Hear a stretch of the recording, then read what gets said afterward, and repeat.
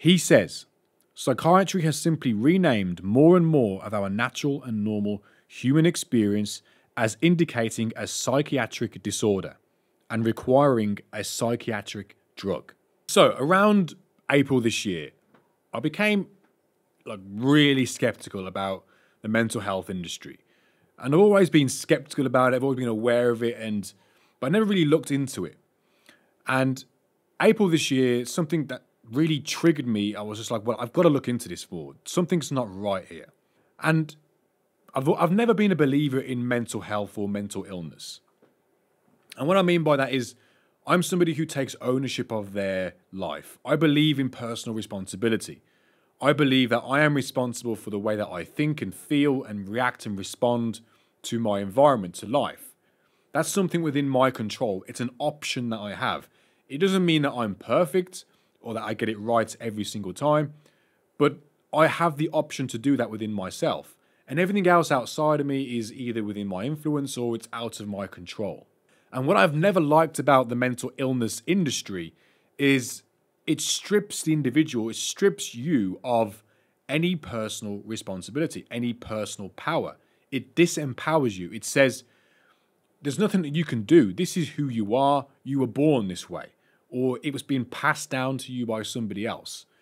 It's completely outside of your control. And I don't agree with that. Now, in April this year, I was scrolling through Instagram on the rare occasion that I do, and I saw a post which said, six symptoms of ADHD or something like that. And I started scrolling through the symptoms. And I noticed that I thought, well, hang on a second, I do these. Like this is this is something that I do. And then I saw another post which was very similar, symptoms of ADHD. But I noticed that they weren't the opposite, they weren't different, but they were conflicting symptoms. And I also saw myself resonating with these symptoms as well. And one of the symptoms was an ADHD person doesn't like doing what they don't want to do. They like to do what they want to do. And I thought, well, that's not a symptom. That's that's everybody. Everybody loves doing that. Who the hell loves doing something that they don't want to do? Surely that's everybody, right? Like nobody enjoys doing the things that they don't want to do, but we've got to do them. It's simple as that. As more time went on, I started to notice that my my Instagram feed was being inundated with ADHD posts.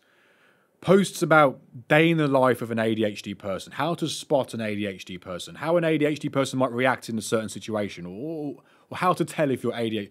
Just all these silly posts, you know, and they're all dressed up in like really fancy fonts, and they made it made it look really like fun and inviting. And there's lots of videos and people sort of posting about it, and it's almost like an online community of ADHD people. And I started thinking, well, is it possible that these this whole sort of narrative, this whole these all these ideas have been created by say an industry.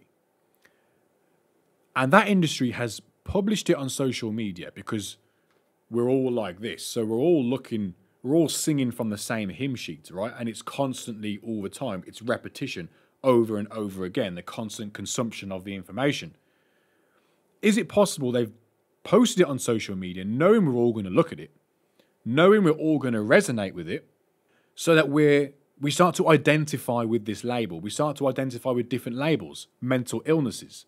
Is that a possibility? Because everything that I'm reading online about mental illness, it just seems to be that these, these are our natural human characteristics. And I started thinking, well, is it possible then that what they've done is taken normal human characteristics and behaviors and reactions, responses to life, grouped them together in different ways, created a new label for each one, a mental illness, and pushed it onto social media so we, we start to resonate with it.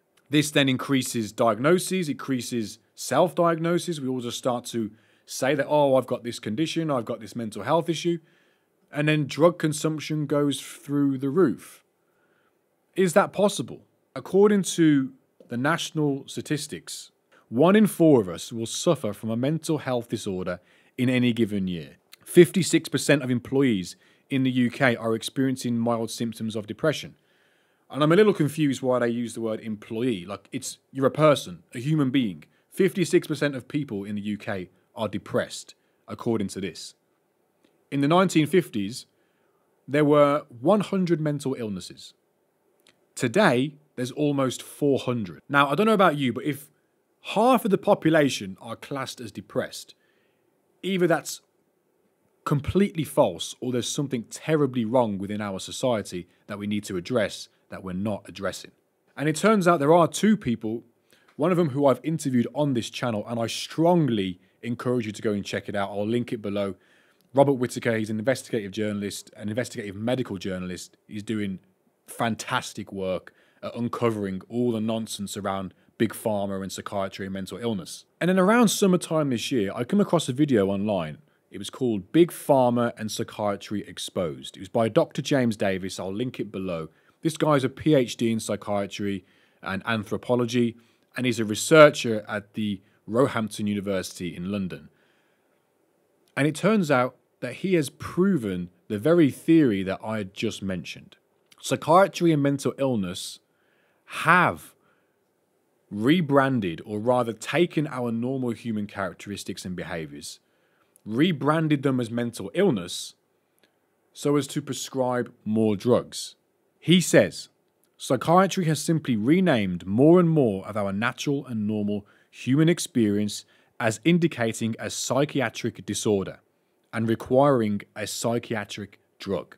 By reclassifying painful normality as psychiatric abnormality, we have created the illusion of a psychiatric epidemic. In other words, society has been convinced that they have a mental illness when in actual fact, you don't.